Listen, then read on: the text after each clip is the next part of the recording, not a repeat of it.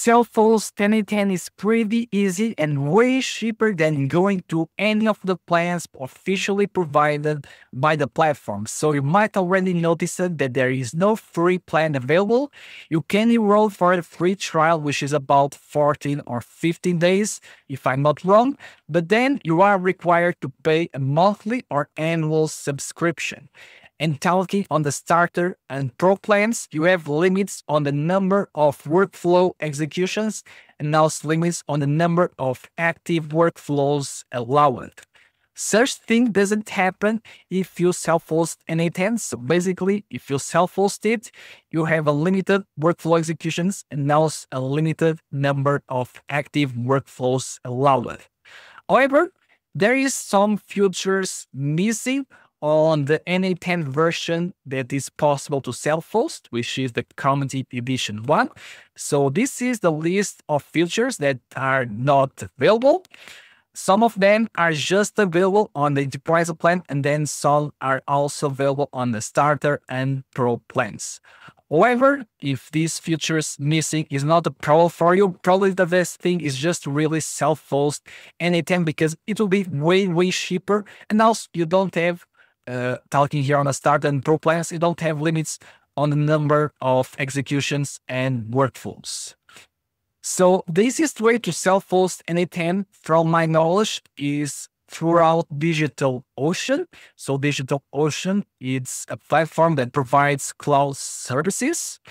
And so uh, here first we'll have to create an account. So you can find the URL for DigitalOcean on the link of this tutorial.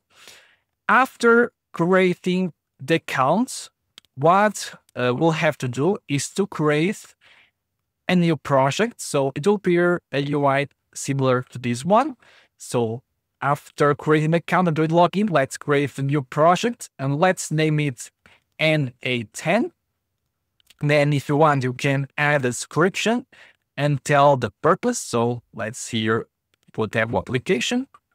And then let's create project. And here, let's click on skip for now. After creating the project, let's spin up a droplet, which is a virtual machine that is really easy uh, to set up. So let's click here.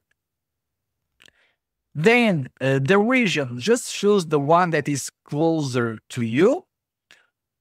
Then here we have to choose the droplet image. So we can choose Ubuntu, Fedora, or Debian. Or else we can go to the marketplace and try to see if there is an image of N8N with N8N already uh, installed. And here you can see it. So let's choose this one. And so here you can see that it's an image of Ubuntu that comes with N8N installed. So then here, the size, just go to the basic and choose here the regular uh, option on CPU options and go to the cheapest one is more than enough to run N8N. And you can see here it's just $6. So way, way cheaper than going to uh, one of these plans available. And you have the plus of having unlimited workflow executions and unlimited active workflows. Then uh, you can set up backups if you want. Then we have to choose the authentication method to connect to the droplet. It can be SSH key or a password. Probably you don't have SSH key added to DigitalOcean, so let's use the password one and define the password for the root user. And then uh, here uh, we have to define the quantity of droplets to deploy. So it's just only one. And then here on host name, we can define the droplet name. So we, let's keep it more simple, such as N8N Ubuntu. And then you can apply some text to the droplet. And after having all this setup, just click on create droplets. And now the droplet uh, will be created. Let's just wait a bit.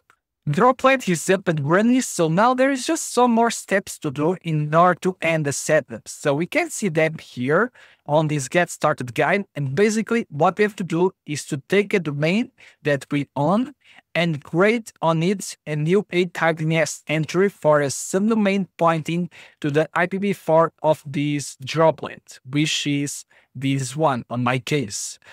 So Now, if you don't have a domain, you can get one for a really cheap price on Namecheap and basically just get the domain. And then after getting the domain, we have to create that A-type DNS entry. This is should be a similar process across different uh, domain providers.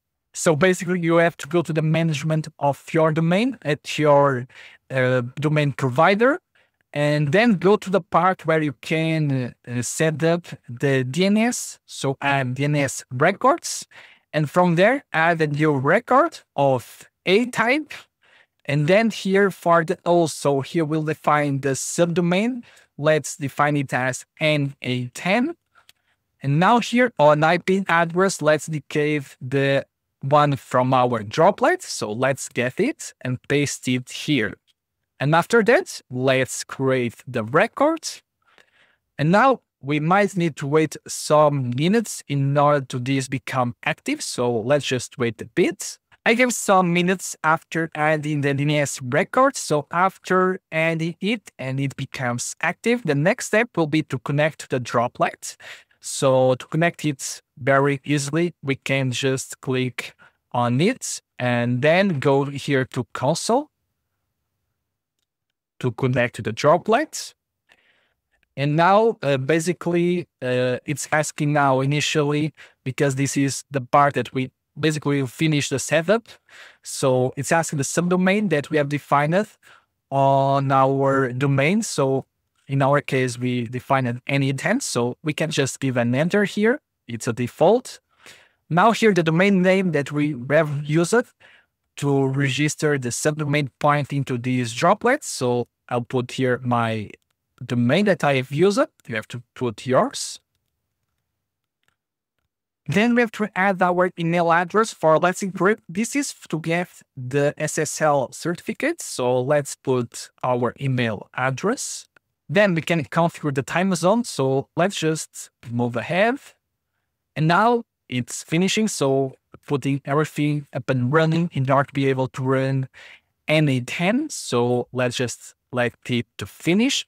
And after doing this, we don't have to do this anymore. So this is basically a single time setup. So let's just wait, let it to finish.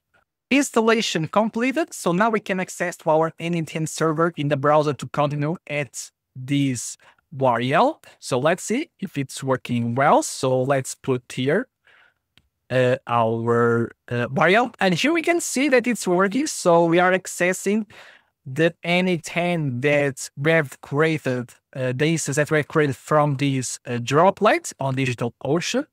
So now here, initially, we have to set up that owner account. So let's add here our email, our name, and then define a password. And then if you want to receive security and product updates, just check these options. So then let's click on next. And so now here it's just doing some additional questions. So here you can just put anything that you want, basically. You can uh, put here Rizal, for example, myself, a research company, less than 20 people, and how we have discovered. So let's put, for example, Google. And then here uh, we can get paid features for free if we register here our email to receive the license key. So we can get additionally the workflow history, advanced debugging and execution search and tagging. So we can get some of features if we do this step. So let's do it. So it's free. So now we'll give the license key on our email I just got the email now. So here we can see the license key. So basically we just have to copy it and then here go to usage and plan or just go here on settings and then click here on enter activation key, paste it. And here you can see that we got the license activated. And so now we can basically just create uh, the workflows that we want. So we have N8N up and running self-hosted on DigitalOcean and just costing $6 a month with unlimited executions and unlimited active workflows. And if you like this tutorial, please give a thumbs up and now subscribe to the channel and the notifications bell so you don't miss any tutorial released here on this channel.